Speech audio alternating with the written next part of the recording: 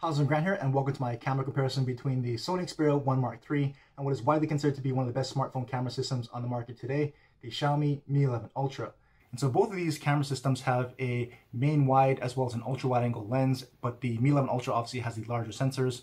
And Xiaomi's gone with a 5 times periscope zoom lens, while Sony has gone with a variable single telephoto lens, meaning that it can actually zoom in to pretty much a 4 4.4 times periscope optical zoom. So I think this is going to be a very good comparison here, although I think most people are going to end up liking one or the other because the Mi 11 Ultra pretty much is a modern smartphone that takes the approach of more heavy-handed HDR processing, a little bit more boosted colors, although it is more natural than most smartphones. So I think if you like that, you like social media ready type photos and videos, you're probably going to like the Mi 11 Ultra.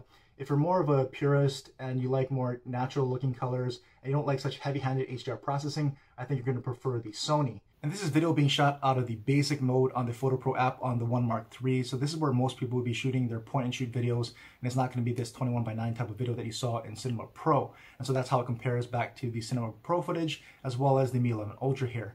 And so just a few housekeeping notes of how all this was shot in the One Mark III. So like you've just heard, the One Mark III has a single app, Photo Pro, that has a basic app, which used to be its stock camera app, and the Pro side, which gives you more controls all the photos you're going to see that were shot on the Sony were taken on the Photo Pro side of that app.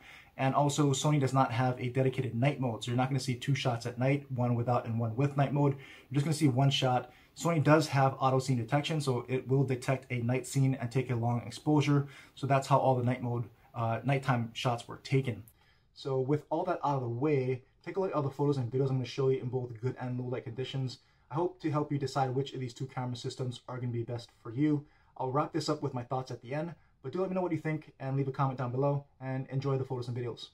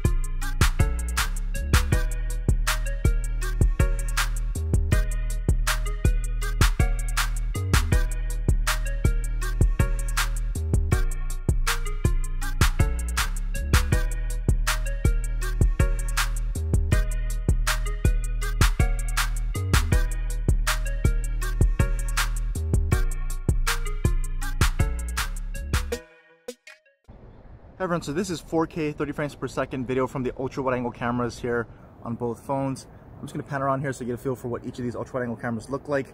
The Mi 11 Ultra has a wider field of view, and if you're wondering, the sky right now is kind of a light blue.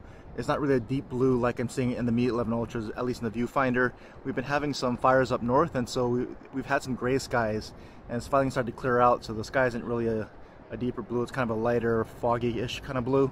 And from the viewfinder, the Xperia 1 Mark III is looking a little bit more realistic as far as that color goes, but everything else is kind of looking fairly muted on the Xperia, while everything really looks more pumped up or saturated on the Mi 11 Ultra. So again, these are the ultra wide angle cameras here to start with. And here we are with the main camera on each of the two phones. Again, I'll pan around here on both. And I've got the wind filter option on on the Xperia 1 Mark III so we can hear what that sounds like here outdoors. And I'll go ahead and start to pan over here to the right in a second but let's take a look at the trees really quickly because these trees have some shadows in them. And on the Xperia at least in the viewfinder there's more of the shadow in the trees while the Mi 11 Ultra is trying to uplift that a little bit more here. But we'll pan over to the right and we'll test zoom here on the cell tower. So we're in the main lens so we can only zoom in so far. So this is going to be three times with the 24 millimeter main lens there on the Xperia 1 Mark III and we can go into you know a max. Well let's go back out to three just to compare here on the Mi 11 Ultra. So this is about a three times on the Mi 11 Ultra just for comparison. And we can go all the way up into a 15 times digital zoom here on the Mi 11 Ultra. And that actually looks pretty clear on the Mi 11 for such a long digital zoom there. So let's go ahead and back both of these out. So back to one time here. Let's go on the Mi 11 and one time on the Xperia and we'll test autofocus in the post with the Xperia 1 Mark III first. And so there you go, focus and refocus away and focus is in and away. So not the, I was expecting some pretty quick autofocus here from the Sony, but I think it's just gotta be a certain distance and you're okay. So let's go here and one more time. And let's go here with the Mi 11 Ultra and we can focus in and away and we'll focus in and one more time. And let's go ahead and try stabilization here. Both of these have stabilization at 4k of course Sony with the steady shot should be pretty stable on both as I walk through this path. And we'll pull up at the end and pan up into the sky to see how they handle that changing afternoon light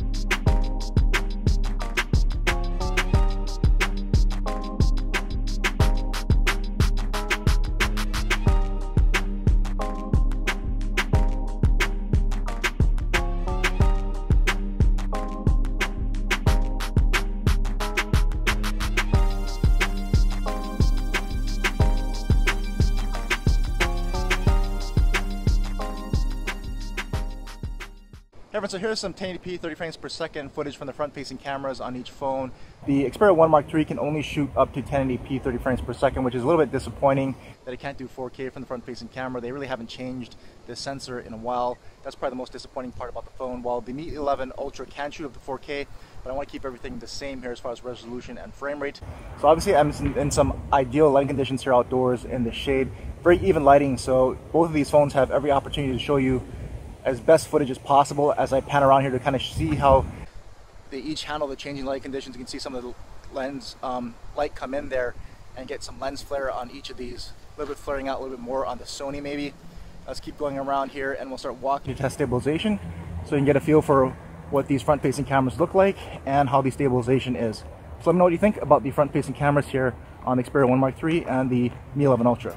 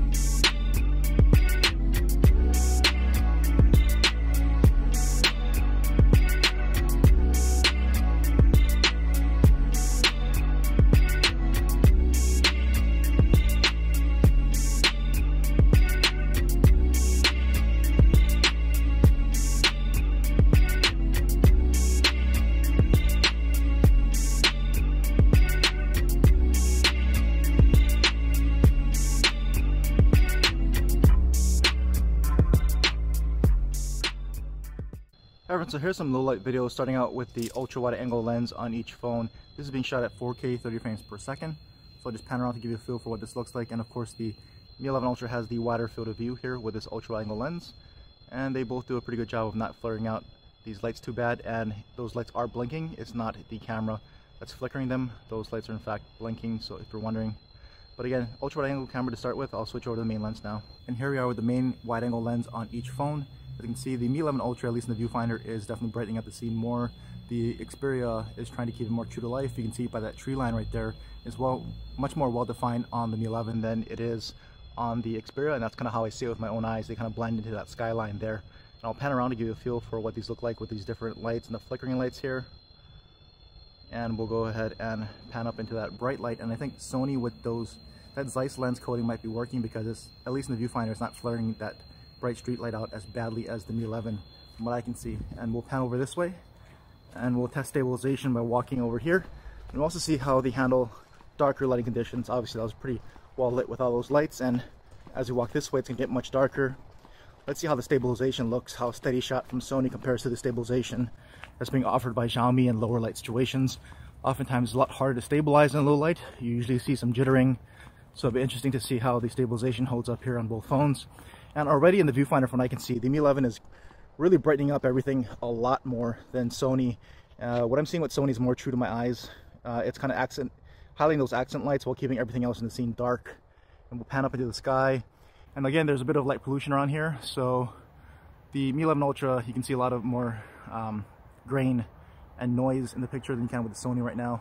We'll go ahead and pan over here to the left where it's a mixed lighting situation where you've got some lights on this alleyway, but it's mostly dark. And of course the Mi 11 Ultra is definitely way brighter. Sony a little bit darker than what I'm seeing with my own eyes, but definitely closer true to life if you're wondering about that. So there's a 4K clip here from both phones in low light.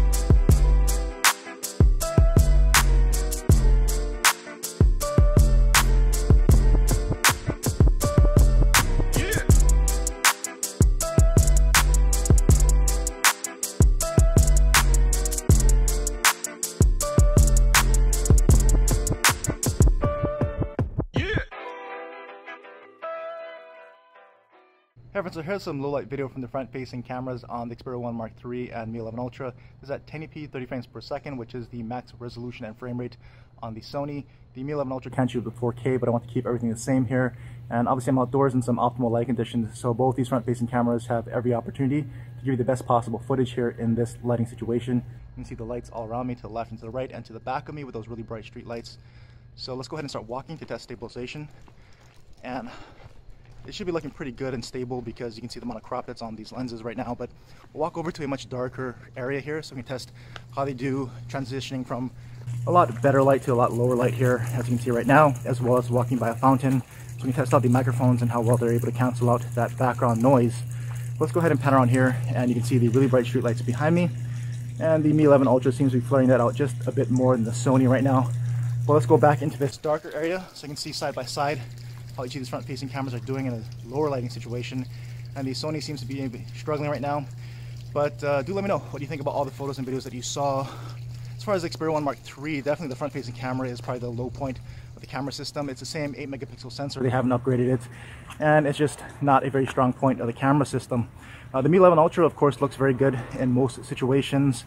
And I think Sony is just sticking to their guns in their image processing, keeping more true to life type of colors uh, and everything else. So I think if you're gonna like boosted colors, you like the heavy-handed HDR of modern smartphones, you're probably gonna like the Mi 11 Ultra. If you like a more traditional approach to a more natural looking photo, but still very good quality and sharp looking photos, I think you're gonna like the Xperia 1 Mark III and the flexibility that it provides with all its pro and manual modes.